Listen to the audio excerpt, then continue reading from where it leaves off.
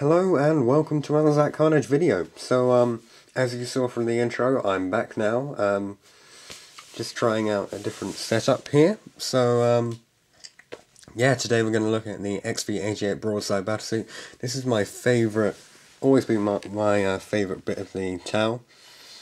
The uh, broadsides, all their battlesuits. Um, just a quick comparison. So this is what your old one would look like. Um, pretty much actual size, so new one's quite a bit bigger. Got the gun in a different place as well.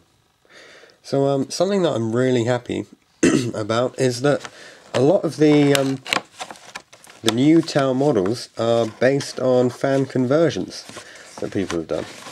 So this one here with the kneeling pose and uh, rail twin rail rifle, uh, heavy rail rifle on one arm, that's actually based on based on previous conversions by other people of Crisis Battlefield. So, get everything out. Here we go, we got the uh, transfer sheet, different sets, some Farsight stuff. Uh, 60mm base, because um, that's what they come on now. Thankfully it's not pre-molded, so um, you can do your own base work on that. Two drone bases. Now, um, I've been told that the um, the XV88 broadside is actually the only one which can take uh, missile drones. So if you're planning on doing that, you might as well. And we'll take a look at these sprues in a minute. This is the instruction book, so you can see we can make one with the twin-linked heavy rail rifles, or one with the high-yield missile pods. And the first sprue um, okay, so we've got quite a lot of stuff on here. Instantly you can see we've got the heavy rail rifle.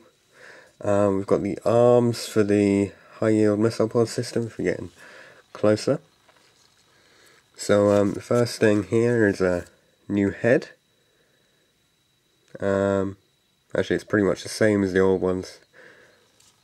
Not much differences there.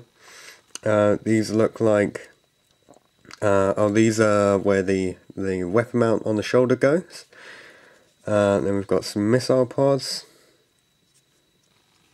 Um, some more missiles, more missiles. So these four here, combined with these two and the arms, and that is what makes the high yield missile pod system. Two drones, some drones for missile drones, um, these are the fronts of some different faces here. Uh, shoulder mounts for weapons. This is the end part of the Seeker missile. Uh, more shoulder bits of the shoulder mounts, uh, support systems, the plasma rifles. Um, this just looks like part of the armor panel. Some more armor, Actually, that, that's probably part of the gun.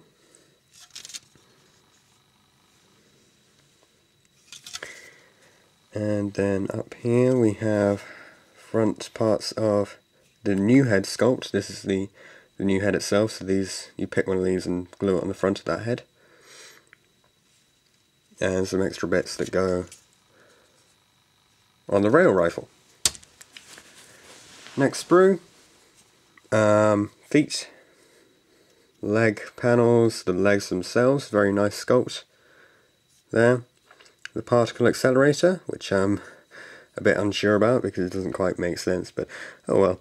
Um, some sort of target lock here, drone, uh, drone section for the gun drone, uh, just a small connection it looks like. This is the arm which supports the twin-linked heavy rail rifle, main part of the torso, shoulder pad, arms, uh, antenna for the drones, main body, other parts of the main body, the shoulder pads, the what was originally a multi-tracker sculpt, now it's got to be something else because the multi-tracker is inbuilt. Um, cooling system for particle accelerator, cooling system, parts to make a shield drone, part to make a marker drone, marker lights, more antenna. Uh, these look like they're going the legs and we've just got some general antenna and bits in here. So um, yeah, it's going to be good fun building that up. Um, going to magnetize it actually so um so I can choose what goes on the shoulder this here they have different mounts for the smart missile system and the plasma rifle so I'm going to build that whole section up put a magnet on the bottom put a magnet on the shoulder and uh, Seeker missile I'll just stick a magnet on there as well and uh, what else have I been doing recently well um I did actually pre-order that broadside and a commander but um they didn't have the commander in stock for some reason when I got there, so um, I'm going to have to go and sort that out at some other point. So I'm still going to be able to run this guy for a while as my commander.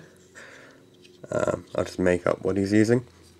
Now a lot of my battle suits I'm actually, um, I Tau's my first army so I have to, they're painted quite badly and I have to re redo them all. And I'm going to cut off the weapons and magnetize them up. Got some 2mm by 1mm magnets to use. And uh, just as an idea, um, this is the sort of condition that my um, Tau Fire Warriors were in originally, so it's not great. Um, and I wanted to fix them up so that they look better without having to strip the paint. So uh, this is what I've come up with. Uh, hopefully, you know, it, it looks, I think it looks a lot better. Um, let me know what you think in the comment section down below. Uh, don't forget to like, subscribe, um, you know, comment with any questions you have or ideas. And uh, this was the Zach Carnage unboxing of the XV88 Broadside Battlesuit.